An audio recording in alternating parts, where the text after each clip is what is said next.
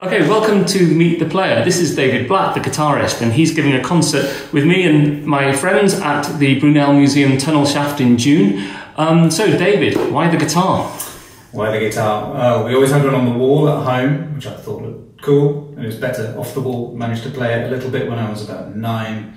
Even strumming a chord sounded nice, so I got into it then, then had some lessons and got into classical, but I play all kinds. Okay, great. It is the coolest instrument on the planet, obviously. Um, so, guitarist, who do you like? Uh, Julian Bream, Andres Segovia, Johnny Marr? Who Yes, all those. Um, when I was younger, classical guitarist, my all-time favourite was David Russell. Just and then I got to meet him later on, and he's just the loveliest man in the world. Um, electric guitarists, um, I probably geeked out awfully on people like Pink Floyd, Eric Clapton when I was younger.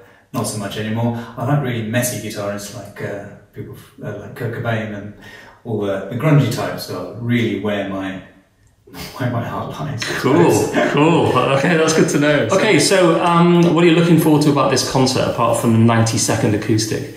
Yeah, well, no, I'm really looking to. I'm not visited the venue yet, so playing guitar always sounds best with lots of echo and reverb, and just be able to fill the space. Um, if we're going to be slightly plugged in as well, which is always nice for this type of guitar, just to give it a bit of a boost, fill the space. It would be really nice to hear in there. So it's going to sound great.